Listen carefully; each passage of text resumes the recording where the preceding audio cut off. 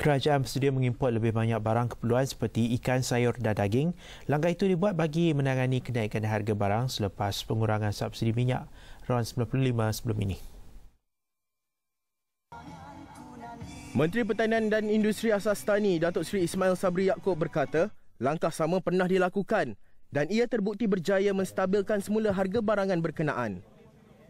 Jelasnya, Apabila terdapat lambakan barangan, ia dijangka dapat mengekang kenaikan harga barang. Menurutnya, kementerian akan mengimport barangan keperluan sekiranya berlaku kekurangan dan ini merupakan salah satu alternatif untuk menangani kenaikan harga barangan. Kementerian Perdagangan Dalam Negeri, Koperasi dan Kepenggunaan KPDN-KK pada 2 Oktober lalu mengumumkan subsidi minyak petrol RON 95 dan diesel dikurangkan sebanyak 20 sen seliter. Dengan itu, RON 95 akan dijual pada harga RM2.30 seliter dan diesel pula RM2.20 seliter. Ini yang merah ada ada campur merah eh.